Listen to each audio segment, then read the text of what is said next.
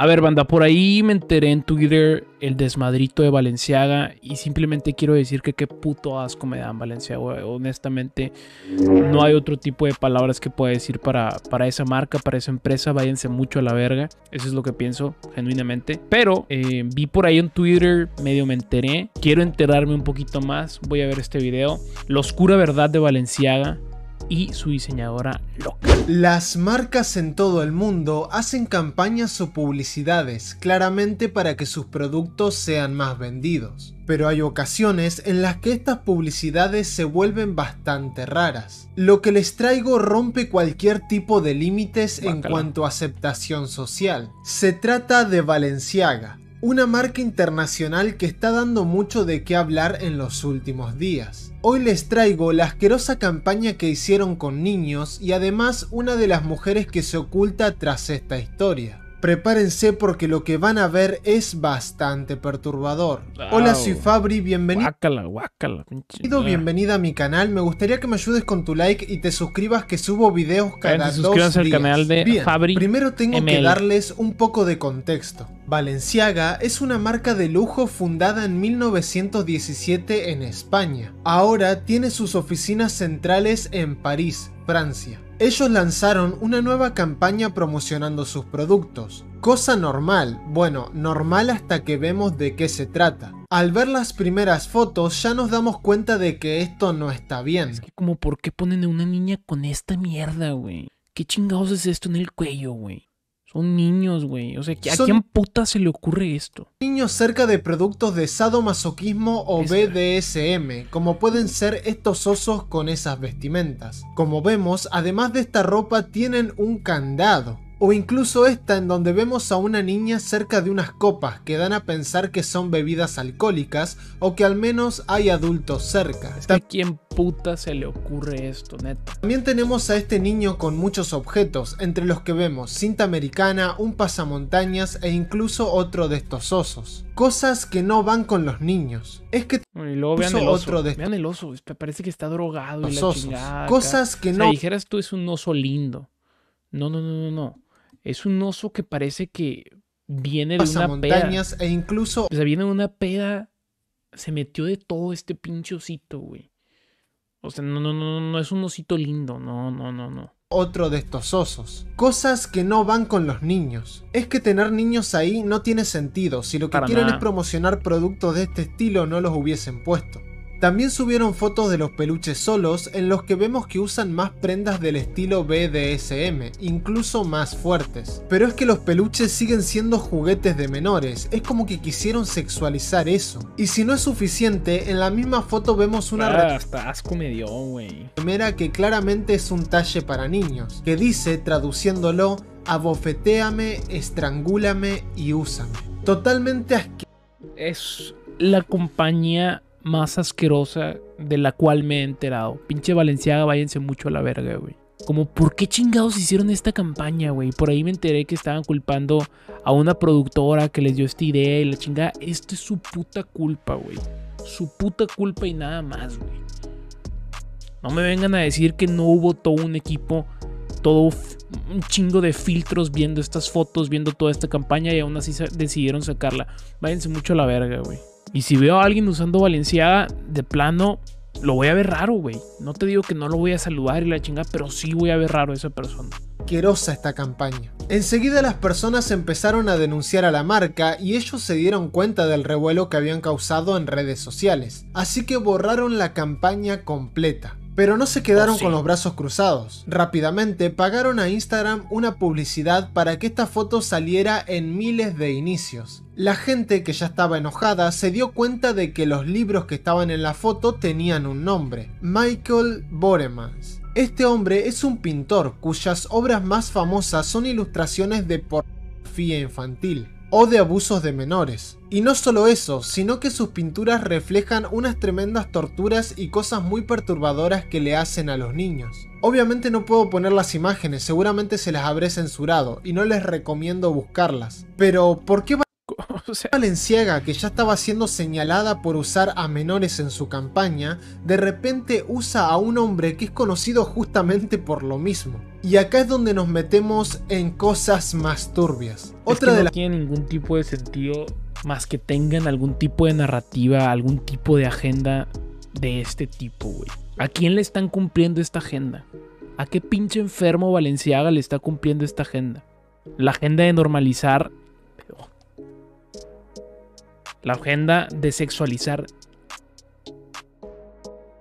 Como, ¿por qué vergas hicieron esto, güey? Yo no entiendo. Las publicidades que hicieron con la foto anterior es esta. Una foto de un bolso común y corriente, pero debajo del bolso se ven muchos papeles, como si fuese la carpeta de algún abogado. Y si nos ponemos a ver, este documento se trata de una sentencia de juicio sobre un hombre que fue acusado de tener pornografía infantil y también de abusos a menores. O sea, todo está conectado a lo mismo, es nefasto. Después de esto, Valenciaga decidió borrar todas sus publicaciones y subir historias pidiendo disculpas al público. Es, es más, cambio de opinión. Si te encuentro a ti, cualquier ser humano, con una prenda valenciaga, te vas a la verga, yo no te saludo.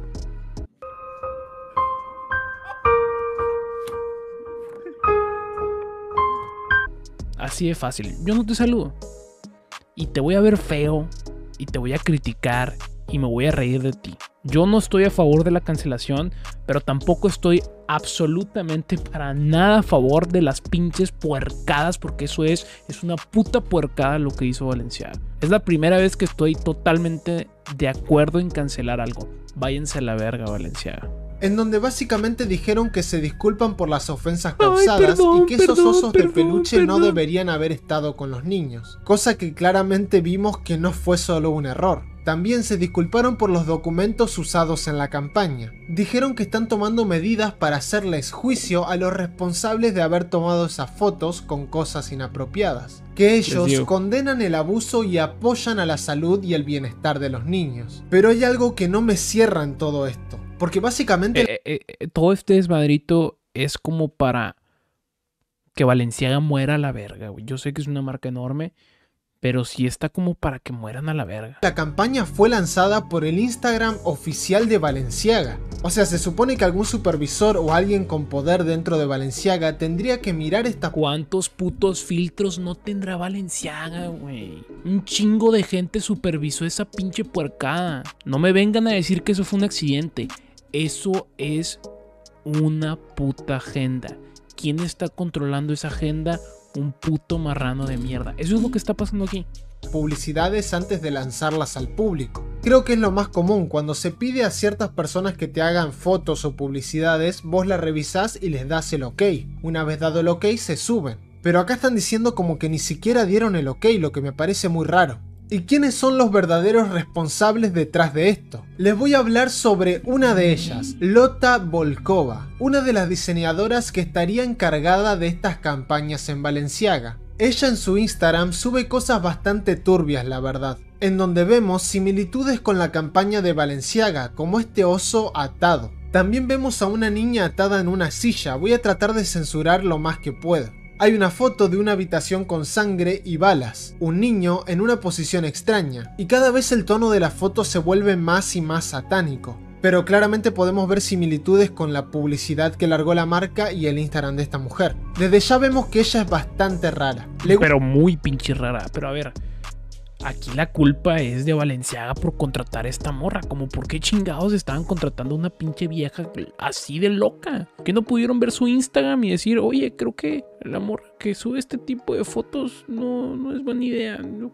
no, no, se te ocurrió, pinche Valenciaga. Digo, si le vas a echar la culpa, tú la contrataste, güey. Gusta mucho el estilo sexualizado en menores. Y también le gusta mucho el BDSM. Hay algunos fotógrafos que también están detrás de todo esto, pero no pude investigar más del tema porque todo esto está saliendo a la luz últimamente. Tengan en cuenta que esto pasó hace poco. Por su parte, Kanye West, rapero estadounidense conocido por polémicas donde él quiere desenmascarar el sistema, dijo, Ahora de a poco la gente se va a dar cuenta de lo que pasa en el mundo. Fíjense que ningún famoso multimillonario salió a hablar del tema de Valenciaga, están todos controlados y comprados. Además de eso, dijo que va... Verga, o sea, no, había visto que Kenny dijo eso.